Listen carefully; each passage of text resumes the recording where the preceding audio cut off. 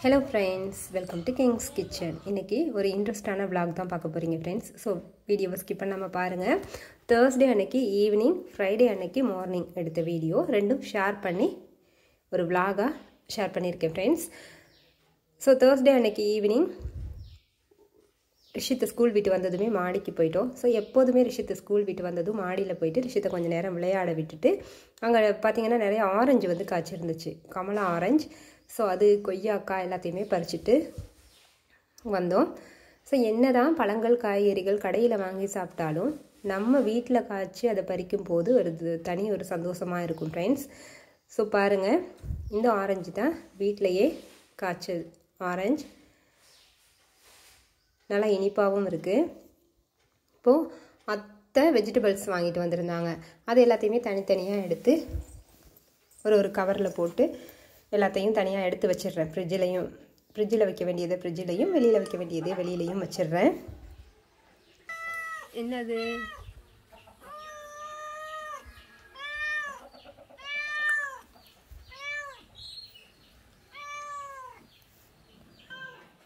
பாருங்கள் உருளைக்கிழங்கு பூண்டு அது ரெண்டையுமே இந்த மாதிரி ஒரு வலை மாதிரி இருக்கும் இல்லையா கவர் ஃப்ரூட்ஸ் எல்லாம் வரும் இல்லையா அந்த மாதிரி ஒரு கவரில் போட்டு தொங்க விட்டுட்டேன். அது நல்லா நீண்ட நாளைக்கு வருது. மீதமாக இருக்கிற காய்கறிகள் எல்லாம் ஃப்ரிட்ஜில் வச்சுட்டேன். ஸோ எப்போதுமே ஒன் வீக் ஒரு தடவை ஃப்ரிட்ஜு க்ளீன் பண்ணிடுவேன் ப்ரெட் எல்லாமே தனித்தனியாக எடுத்து வச்சுட்டேன். மாவு தனியாக ரெண்டு பாத்திரத்தில் மாவு தனியாக அரைச்சி தனியாக வச்சுருக்கிறேன்.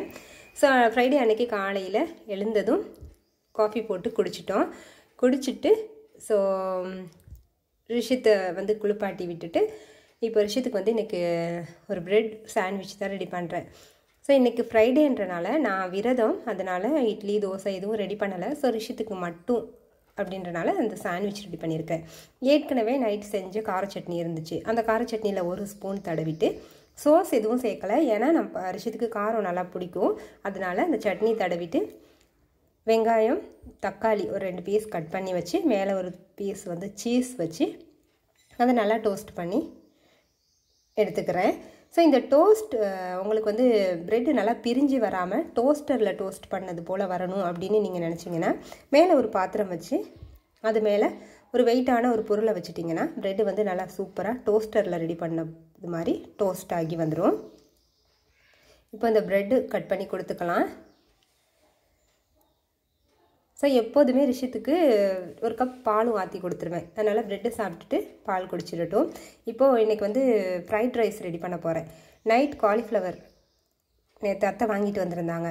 ஸோ அதை எடுத்து நல்லா கட் பண்ணி மீதமாக இருக்கிறத ஈவினிங் வந்து பக்கோடா போட்டுக்கலாம். காலிஃப்ளவர் பக்கோடா ரெடி பண்ணிக்கலாம். அதனால கொஞ்சமாக உள் ஒரு ப காலிஃப்ளவர் மட்டும் கட் பண்ணி இன்றைக்கி நான் ஃப்ரைட் ரைஸ் ரெடி பண்ண போகிறேன் ஸோ அதுக்கு வந்து ஃப்ரை பண்ணி சேர்த்துக்கலாம். ரைஸ் வந்து பார்த்திங்கன்னா வடித்து வச்சுட்டேன். வடித்து ஆற விட்டுட்டேன். இப்போ காலிஃப்ளவர் கொஞ்சமாக எடுத்து நல்லா க்ளீன் பண்ணி உப்பு மஞ்சள்லாம் சேர்த்து நல்லா க்ளீன் பண்ணி கார்ன்ஃப்ளார் சேர்த்து தனி மிளகாய் தூள் கொஞ்சமாக சேர்த்து உப்பு சேர்த்து இதை வந்து நல்லா ஃப்ரை பண்ணி எடுத்துக்கிறேன். ஸோ எப்போதும் பார்த்திங்கன்னா லெமன் ரைஸ் இந்த மாதிரி தயிர் சாதம் புளி சாதம் இந்த தக்காளி சாதம் இந்த மாதிரியே கொடுக்குறத விடையும் வெஜிடபிள்ஸ் சேர்த்து ஸ்கூல் போகிற பசங்களுக்கு கொடுக்கும்போது அவங்களுக்கு நல்ல ஒரு ஹெல்த்தியான ஃபுட் அது. அதனால ஒரு எனர்ஜியும் கிடைக்கும். அதனால நான் அதிகமாக வந்து வெஜிடபிள்ஸ் சேர்த்து ரைஸ் தான் கொடுத்துட்ருக்குறேன். பார்த்தீங்கன்னா ஒரு கப் அளவு பீன்ஸ் கேரட் சேர்த்துட்டேன். உப்பு சேர்த்து தான் வேக விட்டுருந்தேன். பீன்ஸ் கேரட் நல்லா வெந்ததும் தேவையான அளவு ரைஸ் சேர்த்துக்கிறேன். இதில் கொஞ்சமாக தேவையான அளவுக்கு உப்பு சேர்த்துக்கலாம். சேர்த்து இதில் பார்த்தீங்கன்னா வெங்காயமெல்லாம் நான் எதுவுமே சேர்க்கலை. அதே மாதிரி எந்த சோஸும் சேர்க்கலை.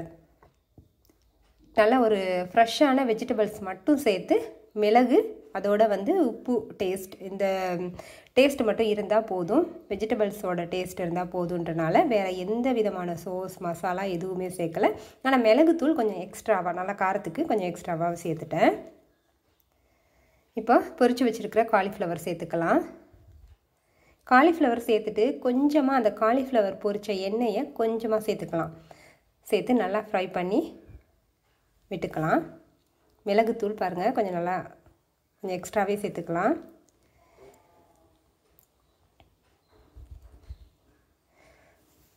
ஸோ அதே நேரம் ரிஷித்துக்கு வந்து தயிர் சாதம் தக்காளி சாதம் இந்த ரெண்டு சாதமும் வந்து ரிஷித்துக்கு பிடிக்கலை.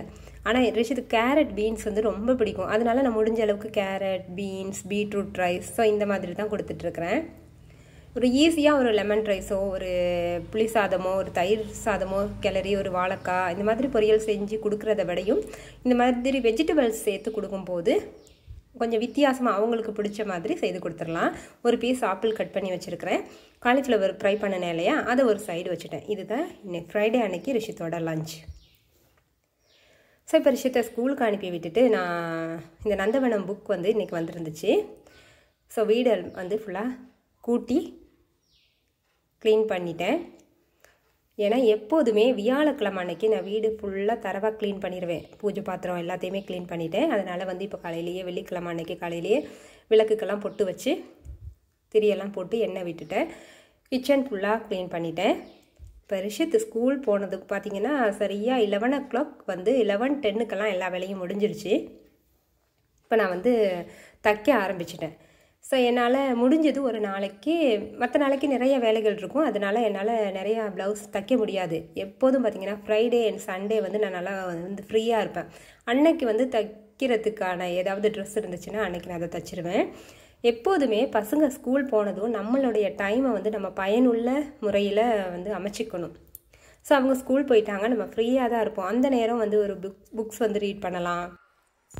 நமக்கு பிடிச்ச விஷயங்களை நம்ம செய்யலாம். ஸோ இதே நேரம் தினமும் பார்த்திங்கன்னா வீட்டில் இருக்கிற பெண்களுக்கு பார்த்திங்கன்னா எப்போதுமே வீட்டில் இருக்கக்கூடிய வேலைகள் வந்து சமையல் பண்ணணும் துணி துவைக்கணும் பாத்திரம் விளக்கணும். ஸோ இந்த வேலைகள் வந்து இது தொடர்ந்து இருந்துகிட்டே தான் இருக்கும். ஸோ இது எல்லா பெண்களுக்குமே தெரியும். ஸோ இதுவே ஒரு சில நேரம் வந்து ஒரு மன அழுத்தமாக இருக்கும். தினமும் இதே வேலையை செஞ்சுட்டே இருக்கிறோமே அப்படின்ற மாதிரி ஒரு மன அழுத்தம் கண்டிப்பாக ஒரு சில பெண்களுக்கு இருக்கும். இதனால வந்து பிரச்சனைகள் கூட வரும்.